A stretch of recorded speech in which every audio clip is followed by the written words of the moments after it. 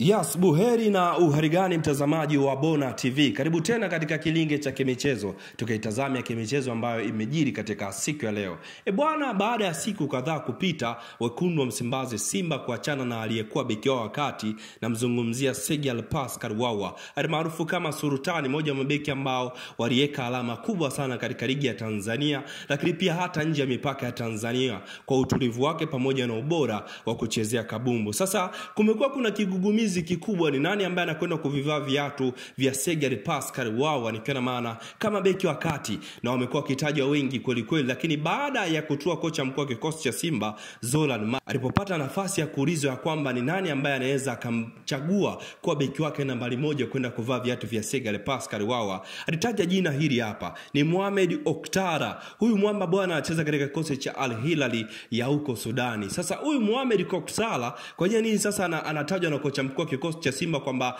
ndio mtu sahihi wa kwenda kuvaa viatu vya Segal Pascal Wawa? Twende tukaitazame profile yake, nikiwa na maana twende tukatazame Mohamed Koktala ni nani, anafanya nini na alizaliwa lini na ni wapi. Mohamed Koktala, historia ina- ina- inaeleza kwamba alizaliwa tarehe saba ya mwezi wa tatu ya mwaka 1993. Kwa sasa ana umri wa miaka 29. Alizaliwa huko Burkina Faso, lakini pia ni mchezaji ambaye anacheza katika defender ya kati, nikiwa na maana ni mchezaji anacheza katika eneo la ulinzi wa kati kati.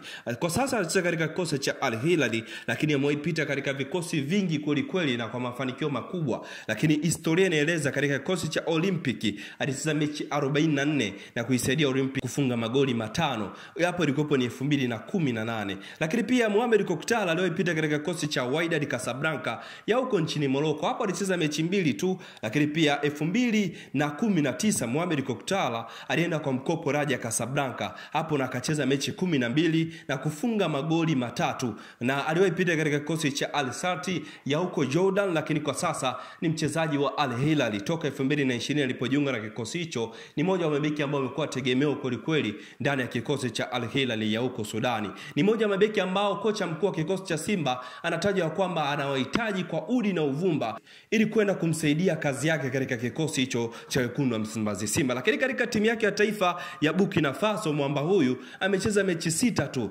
lakini anataja kucheza hizo mechi sita ambazo zilikuwa ni ngumu kwelikweli, na aliperform katika ubora wa hali ya juu kwelikweli, na kocha mkuu wa kikosi cha Simba, na ndio maana ameenda kumuhitaji katika kikosi hicho. Na huyu Mohamed Koktara bila shaka yote anakwenda kuvaa viatu vya Sultani Segal Pascal Wawa, moja ya wa Ivoriani ambao walifanya vizuri kwelikweli kweli katika ligi ya Tanzania, lakini pia hata nje ya mipaka ya Tanzania ambapo alikuwa anasafiri na wekundu wa Msimbazi Simba, alikuwa bora kwelikweli. kweli. Je, Simba Sports Club kama atampata beki ambaye ana data kama hizi ambazo nimekutajia, atakuwa ana umuhimu wa kiasi gani? Ikumbuke kwamba kwa sasa Simba Sports Club wanautegemea mabeki wawili tu ambao wana uzoefu mkubwa kwelikweli, kweli, nikiwa na maana Enoch Baka Inonga pamoja na Josh Achien Onyango mwamba kwelikweli. kweli. Mimi ni James Sebo ambaye nikuletea hicho kilinge cha kimichezo ambacho kimejiri katika siku ya leo kuhusu Mohamed Koktala mwamba ambaye anatajwa kwenda kujiunga na kikosi cha Simba Sports Club. Usisahau kusubscribe Bona TV, 没